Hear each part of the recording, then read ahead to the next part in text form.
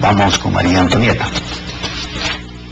Gracias, Fernando. Nosotros tenemos más información. El prefecto del Guayas, Vijairala, presentó videos turísticos de la provincia con la finalidad que los 25 cantones puedan incentivar el turismo interno. De esta manera, también dijo, se busca dar a conocer a los ecuatorianos las diferentes rutas con las que cuenta esta jurisdicción, como la del cacao, la del pescador y también la de la aventura, entre otras. Jairala entregó los videos promocionales que tardaron, por cierto, 10 meses en estar listos a cada uno de los alcaldes.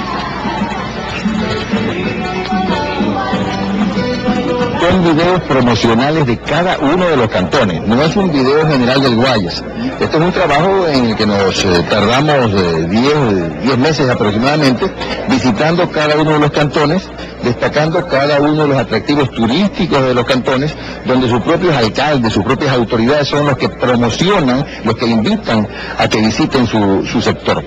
Porque eh, como guayasenses debemos reconocer que si bien se ha logrado algún avance interesante en los últimos meses en materia de turismo interno, todavía hay muchos guayasenses que no conocen su provincia y que eligen seguramente como destino turístico algún punto fuera del Ecuador o, ¿por qué no fuera de la provincia de Guayas? Entonces, aquí no se trata de, pelearnos espacios con otras provincias hermanas o con países hermanos, sino más bien de estimular a los guayasenses, de inducirlos a que visiten primero el Guayas.